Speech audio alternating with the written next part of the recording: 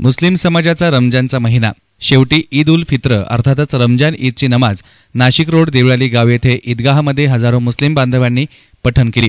देशाला बंधुभाव शांती सद्भावना आणि समृद्धी लाभो अशी दुवा प्रार्थना यावेळी इमामांनी केली. सकाळपासूनच नाशिक रोड शहरातील असंख्य मुस्लिम बांधव इस्लामिक पेहराव करीत ईदगाह येथे प्रार्थना करण्यासाठी जमा झाले. यावेळी दोन वेळी नमाज पठण करण्यात आली. नमाजनंतर मुस्लिम समाजाच्या वतीनं एकमेकांना आलिंगन देत शुभेच्छा देण्यात आल्या. पोलीस उपायुक्त अमोल तांबे सहाय्यक पोलीस आयुक्त ईश्वर वसावे पोलीस निरीक्षक भरतकुमार सूर्यवंशी आदींसह पोलीस कर्मचाऱ्यांनी यावेळी चोख बंदोबस्त ठेवून मुस्लिम समाज बांधवांना ईदच्या शुभेच्छा दिल्या. News reporter Manish Sarvatkar SN media Nashik.